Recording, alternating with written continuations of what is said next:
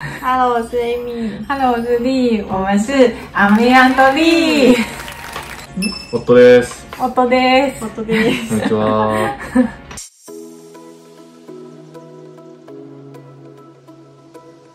じゃあ、はじめに、あ、どうしよう。まず伊藤くんに聞きたいわ。なんか、アミちゃんに一目惚れしたらしい。まあまあ、2014年のフジロックで、7年前。7年前、7年前7年前じゃあ、出会って7年だ。うんそうねうんうんうん。そう、それで、まあ、会って、まあなんか声かけたみたいなのが、まあ始まりだよね。声かけた？そう、まあ一回ちょっとスルーしたけど、そうスルーした？スルーされた。なんか共通の友達がいて、伊藤っていう人が先に行ってるから、その人探してって言われたかでもら、そうそう言われても探せないじゃん。伊藤そうって。いや なので、なんかハイネゲンの前で待ってるねって送ったら、明らかにあの人だよねっていう人を目の前にスルーされそうそう。え、それでもなんで？その時、その、俺は、あの、その前夜祭から行ってたから、もう泥酔してて、しかも日焼けしてて、全身迷彩の格好してたから、戦闘兵。なんかね、ゲゲリラみたいになってたの。で、アミちゃん来たばっかで真っ白で綺麗だから、えちょっと、もう一回お酒飲まないと声かけられないなってなって、一旦スルーして、ビール飲んで話しかけたみたいな感じだね。いや、なんかビール買ってるのを見えて、この人だろうなと思って、後ろからトントン、あの、この人ですよねって聞いて、こんにちは。こんにちはって。やっぱスルーされたと。そうなの。え、じゃあもうビールトントンされた時から、わ、マジ美人だわ、とか思って。あ、美人な人がいるなと思思った思った。ううんん。えでもいつあこれはこれはまあマジタイプみたいな感じいつ？で、なん出会か、ってすぐフジロックが終わった後に、毎年なんか、お疲れ会みたいな友達の飲み会をやってた時に、うんうんうんなんか、そばで、なんか、違うお店で一人で飲んでるって言ったから、なんてだよわかんない。いや、あの、行きつけのバーね。行きつけのバーがあるから、そこで飲んで、で、連絡来たから、なんか近くにあったんだよ。そうそうそう。恵比寿で飲んでて、乃木坂で飲んでたから、あ近いねってなっうて、行って、じゃあ二人で飲んで、朝まで飲んで。朝まで飲んだ。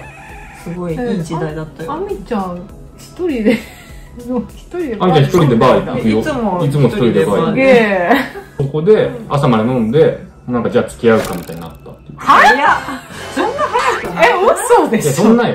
大体そんな感じ。そうだっけ？えフジロック何日？フジロックが終わった後次の日。あふ二日目？うん、いや、フジロックは 3日間あって、あまあ3日間まあ、そ普通に楽しく過ごして、うん終わって、東京に帰ってきて、なんか次の日の。えじゃあえ出会って次の日3じゃな日くない？3日？ちょっともうこのこの時点で 事件の総意がえそうだっけ？そうだよ。嘘なんか、一週間後とかじゃなかった？いや、違うよ。まあいいや。じゃあ付き合おうっていう言葉は伊藤くんから？だね。そうです。付き合おうよ尋問じゃん、もう。だよそうだよ。え、じゃあそれを面白くするのが、なんか、俺の力量だったそうそうそうまあね。まあでも付き合おうって言ったんだけど、ちょっと、あの、汗が出てる。まあ彼女いたの、俺当時。うん。もうみんな知ってる。そう。みんな知ってる。だからちゃんと、えっ、と、ちょっと仙台に住んでるんだけど、その、えマジ遠恋だったの？そう、だから仙台まで行って、えらっ土下座して、え土下座したの？別れてくださいって。土下座はしてないでしょ。土下座したよ。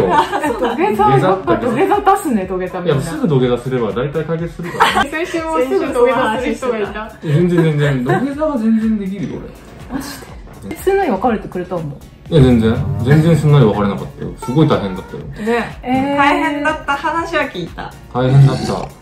あまあでもなんだかんだ一応だってもう止められないじゃんこっちの子が好きだから。そう、でもなんか私は結婚を考えてたのに、みたいなこと言われて、そしたらなんか、親出てきて、俺のえー、それなんか、は知らなかった。うちの娘の何がいけなかったんですかみたいな。だから、いや、すそういうところですって言って。そういうところで、そういうところですよ。全然びっビらなかったね。なんとも思わない。なんか、メンタル強い夫婦だわ。なんと、だからそういうところですよ。すぐお母さんが出てくるところですよ。全然人見知りしない全然人見知りしないで、もうすっごい喋るそうそれはの。め私もちゃめちゃ喋るから。私もすごいなんか何回も感じた。だから多分ホストとかにも向いてると思う。ポスト向いてると思う。向いてるね向いてるね、頑張ろうか。頑張らないね。34歳。ちょっと若干ローランドみたいな。ここちっちゃいローランドになってるでしょ。ローランド。ここちっちゃいローランドできてる神奈川県の富士ローランドで行こうか。なんか、スケールがちっちゃいちっね。ちゃいわ。みんなが多分好きそうな話で言うと、誕生日プレゼントうん。を、なんかすごいちゃんと考えてんなと思ったのが、あの、ソムリエ取ってたじゃん。ああ、そう。あ、聞いた聞いた、それ。そうでその時にもらったのがすごいそうそうそうそうそういい感じのソムリエナイフあでー考えたね。そうすごい考えてくれてるんだなっていう感じな今年ほら乗馬始めたから。うんあ、ちょっとまた乗馬グッズグで。ッズで、3年後ぐらいにもう馬、馬をやる。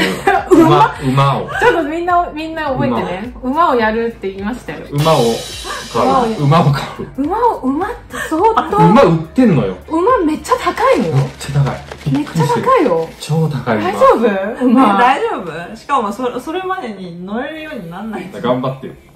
そこは頑張ってる。はいえ、じゃあ逆に喧嘩とかはする？まあなんか、大喧嘩はしないけど、する。するする。する。なんかその印象に残ったやつある？で印象に残ったっていうかもう毎回、もう変わんないの、喧嘩の内容。ないの？ちょっと嫌だな。喧嘩の内容は絶対変わんなくて、まあ、まあ何か些細なきっかけは何でもいいんだけど、あるって、例えばまあ、注意するじゃん。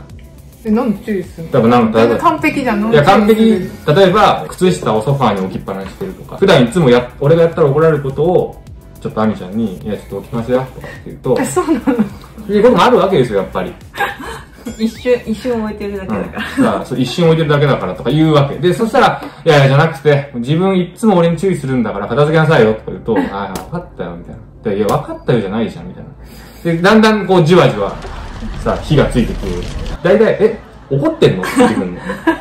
え、怒ってんのいやいや、怒ってないよ。全然怒ってないよ。いやいや、怒ってたじゃん、今。怒ってないっつってんじゃん。いやいや、怒ってんじゃん。だ怒ってないっつってんじゃん。テンションって言ったよね。今つってんじゃん。怒ってんじゃん。いや怒ってないよ。ああ全然怒ってない。全く怒ってないな。怒ってないから靴下を片付けよう。でまずまず怒ってる怒ってない論争で食いもう絶対喧嘩になるわけよ。絶対さ話の本筋じゃないじゃん。でだから靴下を例えば片付けようとかって言うとでもあみちゃん一生懸命やってるよっていうの一生懸命やってるかやってないか論争になるわけ。一生懸命は関係ない靴下を片付ける片付けないにおいては。一生懸命関係ないじゃん。一生懸命関係ないじゃんって言ったら、え？怒ってんの？また怒ってんじゃん。怒ってないよ。全然怒って、いや怒ってたじゃん今。っていう無限無限ループで、絶対に勝てないようになってるの、口喧嘩で。はいはいはいはい。あの、あれなんだよ。謝らなんだよね。そう、謝ったら死ぬと、謝ったら死ぬ病気を抱えてるから。謝ってるよすぐ、すぐ謝る。あ、あそれはじゃあ台湾人では共通ではないんだよ。あ、違う違う。この人はこの人は、あの、変えたの。心を変えた。ああ、素敵。あでもあれ裏切り者。ねその謝ってるつもりはないよ言ってるだけだからそう、でもそれでいいんですよ。それでいいの？そう。いいの？それでいいの。そう、ごめんっつって。全然ごめんって思ってないんだそうよそうそう。でそこで。さ、ごめんって言ったらさ、こっちも引くじゃん、絶対。そうなの。そう。かんないそれを、行く行く行く。ほら、待って。いや怒ってねえ、怒ってる怒ってる怒ってるよね、今。怖っ。え、今度認めたの？いやー、認められ認め、ないのか。かわいい。認めるルートないなえ、マジで？だって怒ってんじゃんいや、怒ってないの、だから。全然怒ってない。怒ってないの。いえ、なんで怒るの認められないんだろうねえずっとねや、だってさね、そうすると、今度は、そうすると別のルートが発生して、そうすると、靴下を放置してるだけで怒ってんの、器ちっちゃいねって、器ちっちゃいルートが発生するわけよ。でも、それもそうよ。器ちっちゃいよって言えばよかった。え、器ちっちゃいはもうさ、もう完全にディスってるじゃん。メンヘラホイホイだもんメンねヘラホイホイ。多摩川とか流れてるとさ、この変なくぼみのとこにさめっちゃゴミ溜まってるとこない、あそこメンヘラいっぱい集まるスポットなの。それ俺なのよ。だから大きな女性が行き交う中でメンヘラがぐるぐるって集まってくる場所ここ俺だから。あみちゃん救世主だよね。そう。次から次へとこうメンヘラが吸い込まれてくるからうん。メンヘラホイホイって言われてたのそのもう前の彼女が保守的だったから、うん。それに比べるとすごいよね。うん。何がすごい？だってなんか道を聞いちゃいけないって言われたのうん、なんかど、ちょっと道わかんないから聞いてくるわって言って、言ったら恥ずかしいからやめそうですみたいな。えじゃあどうすればいいのむしろ自力で何とかしてって。Google でずっとずっと道に迷うずっと道に迷う。えじゃあもうすぐ結婚したいと思ったでも、なんか一応なんか1年間は付き合おうと思って。何その1年間？なんか1年は付き合おうと思っ春夏秋そう冬の顔を見て て。それはね、なんかね、俺のお母さんに言われた。ああ1年、まあ、反同性でも同性でもいいから、なんか、そういうのや、なんかやってみ様子見て。て、様子見て、じゃないみたいな。そうね。確かにもし冬だったら急にメンヘラに変貌ね。寒いわ。プロポーズの言葉で結婚するかなあ、結婚しよっか。って家なの言える。マジっす違かう、違う、なんかそれね、すごいね、なんかあれその、王子様みたいにひざまずいてあ、そ台湾な。の人たちはみんな、あれなんだよ、もう過剰演過剰なんだよ。そう、家で映画を見て家、そう、お酒を飲んでパジャマでまったり二人でしてるときに、あ、なんか、きっとこれが、え多分平、平和というか考えに一番近いなと思って、あ、じゃあこれが長続きすればいいんじゃないかなと思ったから、いや、平和だねって話をして、なんか結婚しようかっていう話をまあ言ったっていうそしたら、遅いよって言われて、遅いって言うの遅いよ。って言ったよ。遅いって、今またちょっと切れた。言うの遅いよって言って、で、しかもね、なんかなんでね、遅いの？いやそれじゃなくて後で怒られたの？はそれじそう、ゃない？いや、その後衝撃だったのは、その後、俺、私また怒られる。違う。ちょっと怒られる。私が怒られた。なんかさ、その後に、なんか言ったよね。その後普通に、なんか、家事してたの、この人。あそう、返事してないのか。座ってたら、普通になんか洗濯物とかをなんかやり始めて、え、夜？うん、夜。で、夜洗濯しちゃいけないよ。でなんか、プロポーズの後なのになんか、普通すぎないっていう。全然テンション高くなくないっつって、え？なんで？なんか、びっくりしちゃって。聞こえてなかったのかなって思って、えでもそうかな。そう。ええ嬉しい嬉しかったよ。嬉しい感じは出したじゃん。嬉しい。感じ出してなかったんじゃな。い俺。その後普通に洗濯物とかやってて、それ、嬉しい時は洗濯しないんじゃない？そっか。まあ、でもそれはあみちゃんらしいというそうね、確かに。えでも別にさ結婚したいとか言って一言もそう、一してない言も言わないのよ。で、あ、まあ、それは、うん。でもさ、今までの20代からの、特に24、5からの恋愛ってさ、そのまあ、つ付き合う、まあなんとかするって、ちょっと時間経つと、もうすぐ結婚どうしますか？っていう風な感情出されるわけ。それは、ちょ、無理無理無理ってまた同じことの繰り返しだったわけ。で、違う人のそう、けやってる、で人が違うだけで、大体メンヘラで、その結婚どうしますかってなるの繰り返しだったから、この人結婚とか何も言わないなって思って。うわっと思って。ごわって思ってうん。新しいって思って。私結婚早かったから、うんそしたらみんな、なんかすごい結婚したい結婚したいっていつも相談されるわけ。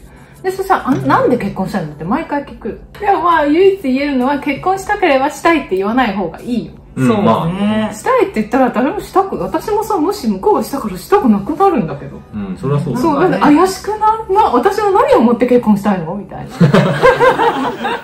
お金てなのとかまあ思って。ね。お金目当てうんお金目当てだよ、絶対私は。だから、なるほどね。そう、なんか、ワン乾杯、ワンテーブルだったのに、なんかそのチャンカツオが、いいち乾杯とか言い始めて、いいちいいちっつって、なんか、すげえ飲まされた。俺の携帯の中には、アミちゃんが、酔っ払いあみちゃんの。クローゼッあト、クローゼットの中で、なんかこんなになってる。クローゼット？クローゼットの中で倒れた。